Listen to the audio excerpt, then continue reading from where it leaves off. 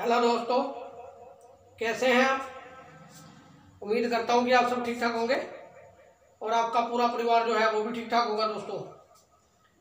तो आज हम जिस टॉपिक के ऊपर चर्चा करेंगे दोस्तों, वो है वैसाखी का पर्व। और इस वीडियो में आगे बढ़ने से पहले दोस्तों, आप सभी से बेनती है, निवेदन है कि आप मेरे चैनल को सब्सक्राइब करें और वीडियो को लाइक करें ताकि आप सब लोगों का प्यार और सपोर्ट मुझे मिलता रहे दोस्तों। और आप सब लोगों के प्यार और सपोर्ट को पा करके दोस्तों मैं नए नए टॉपिक के ऊपर वीडियो लेकर के आता रहता हूँ। तो चलिए दोस्तों वीडियो को आगे बढ़ाते हैं। तो दोस्तों आज है वैसाखी का पर्व और वैसाखी का पर्व आज होने के नाते दोस्तों मैं आप सभी को बधाइयाँ देना चाहता हूँ। पंडवाला पब्लिक ओदी पंजाबी और all India news twenty four dot online की तरफ़ से आप सभी को वैसाखी लख लख बधाइयाँ। हैप्पी विसाखी दोस्तों। और आप धर्म के रास्ते पे चलें।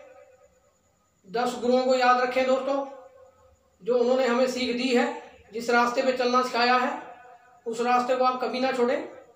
जीवन में उतार चढ़ाव आते रहते हैं दोस्तों। हर उतार चढ़ाव का आप मजबूती के साथ सामना करें और अपने दसों गुरुओं को हमेशा याद रख करके चलें दोस्तों। और गुरु ग्रंथ साहब जी द्वारा बताई गई तमाम बातों को आप अपने दिमाग में डालें। और इस तरह से डालें कि उन दिमागों, उस उन बातों को आप अपने दिमाग में से निकाल ना पाए दोस्तों। क्योंकि आपके दिमाग के अंदर अगर गुरु ग्रंथ साहब की सभी बातें रहती हैं और उनकी तरफ़ आपका ध्यान रहता है और दस गुरुओं का नाम आपकी ज़ुबान पर रहता है तो बड़ी से बड़ी मुसीबत से आप निकल जाएँगे दोस्तों। और ये ज़रूरी नहीं है कि जब आप दुख में हो, तभी आपको जो है परमात्मा को या दस गुरुओं को याद करना है। आप जब भी चाहें, परमात्मा को और अपने दस गुरुओं को याद कर सकते हैं दोस्तों। क्योंकि दुख में तो हर हर एक को याद करता है। बंदा वही है जो सुख में अपने परमात्मा और अपने गुरुओं को ना भूले। और हमारे गुरुओं ने हमें यही सिखाया है दोस्तों कि धर्म को हारने मत दो। तो मिलते हैं अगली वीडियो में दोस्तों।